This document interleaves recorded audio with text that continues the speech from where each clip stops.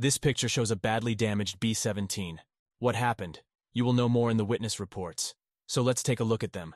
This B-17 was named Lil Satan and Queen o' Hearts. U.S. Air Force serial number 42-97890 and was assigned to 524th Bomb Squadron, 379th Bomb Group, on June 12, 1944.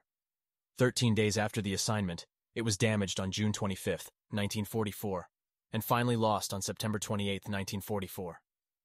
I will split the history of Queen o' Hearts in two videos. In this part, I am focusing on the incident on June 25, 1944, when it was badly damaged. At that time, no nose art are visible in the available pictures. On June 25, 1944, the target was a bridge at Coulanges-sur-Yonne, France. Some would say an easy milk run. No mission report of the 379th Bomb Group could be found. But the 303rd Bomb Group has a mission report for the June 25th mission, and the mission report said the target was bridges at Saintes and Coulanges-sur-Yonne, France. Same as 379th Group. They were part of the 41st Combat Bomb Wing. The report further said that three 379th Bomb Group aircraft scheduled to fly in the number 4 element did not assembled and never seen during the mission. Also, no enemy aircraft were seen. That's all I could find about the mission. However, on their way back to England, approximately 50 miles northwest of Paris, the B-17 received a direct hit in the nose. Consolidated report from crew interrogation and missing aircrew report number 6738 contains what happened then. Over Paris, on their way back from the target, a burst of flak hit the nose of the aircraft directly. The nose was blown completely off, and the metal section was mushroomed back.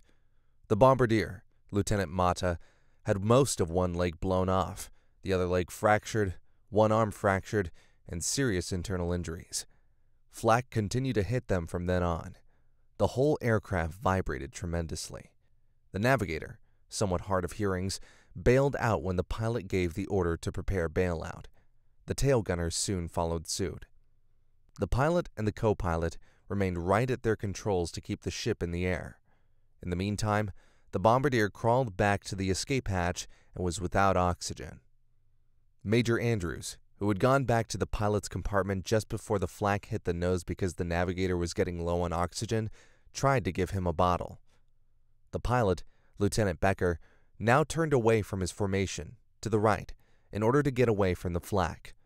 Number 2 and Number 3 engines had been hit and were inoperational.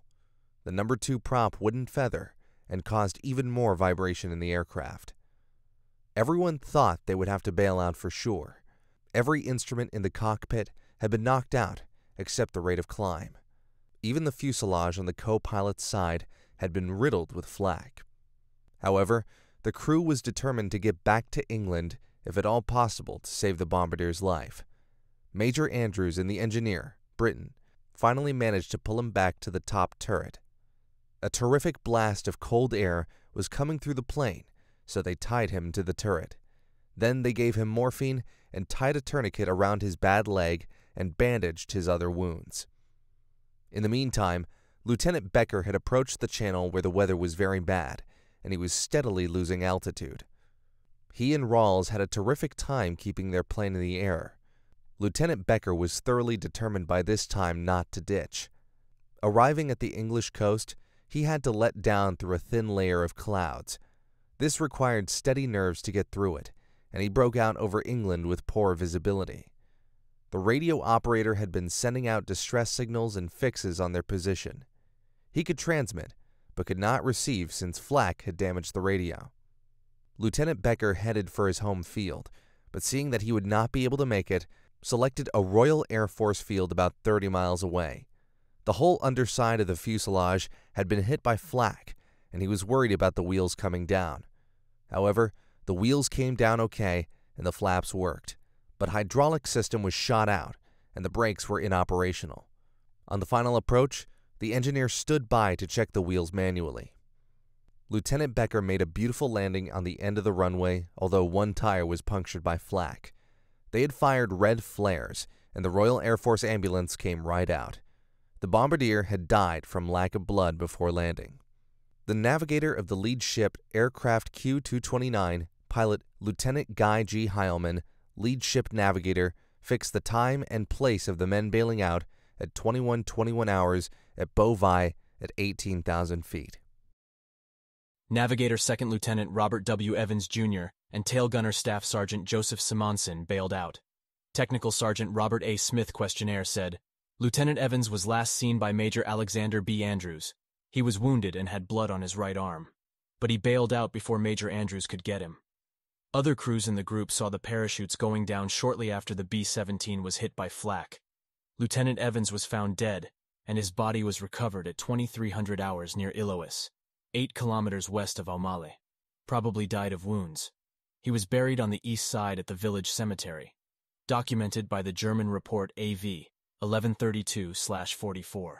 Staff Sergeant Simonson was captured and became a prisoner of war. No documents or information found where Staff Sergeant Simonson was captured. Once again, a damaged B-17 Flying Fortress brought her crew back to England. Lil Satan landed on Royal Air Force Airfield Hunsdon and was repaired. Than returned to combat status. It failed to return on September 28, 1944. But this is the topic in the next and second video about Lil Satan, also known as Queen o' Hearts. Thanks for watching and any feedback and questions are welcome.